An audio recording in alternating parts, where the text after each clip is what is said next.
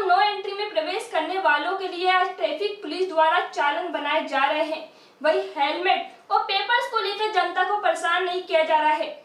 हाल ही में शहर में बड़ी संख्या में चौराहे चौराहे पर ट्रैफ़िक पुलिस के जवान, आम वाहन चालकों को रोककर पूछताछ करते हुए दिखाई दे रहे हैं। ऐसे में भाजपा के वरिष्ठ नेता कृष्ण मुरारी मोघे का बीच में एक बयान सामने आया था जिसमें उन्होंने कोरोना व लॉकडाउन के कारण घरों से बाहर निकल रहे लोगों को अकारण परेशान न करने के लिए ट्रैफ़िक पुलिस व अन्य अधिकारियों से आग्रह भी किया था। उसके बाद भी शहर में बड़ी संख्या में ट्रैफ़िक पुलिसकर्मी चेकिंग कार्य में लगे हुए हैं। इसी तरह चेकिंग आज रिगल तिराहे पर। रविन्द्र नाट्य ग्रह वाली रोड पर हो रही थी। Traffic additional SP Ranjit Singh Dev ने बताया कि हम सिर्फ़ रेड लाइट उल्लंघन व तीन सवारी एवं नो एंट्री में प्रवेश करने वाले चालकों का ही चालन बना रहे हैं, जिससे जनता में ट्रैफ़िक नियमों के प्रति जागरूकता बनी रहे।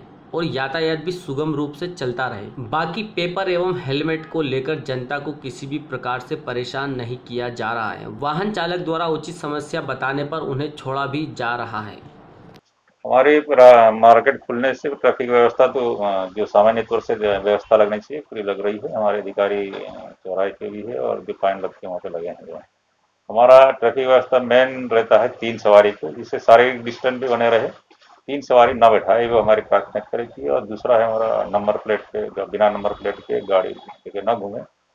इस बिना नंबर घूमने से क्या है कि अपराधी तत्व भी हो सकते हैं तो इसलिए हमें ज़्यादा प्राथमिकता रहती है तीसरा हमारा व्यवस्था में जो रेड लाइट जंपिंग करते हैं, या वन वे का उल्लंघन करते हैं या उल्टी दिशा में जाते हैं, उसके विरुद्ध हम कार्रवाई कर रहे हैं। ये तीन